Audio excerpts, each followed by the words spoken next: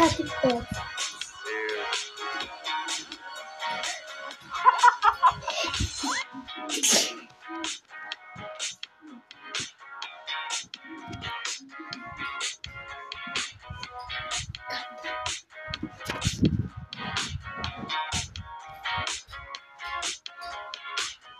hilarious.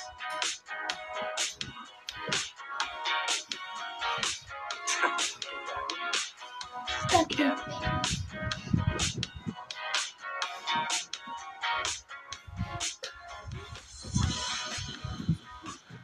Is there gonna be a post credits stinger?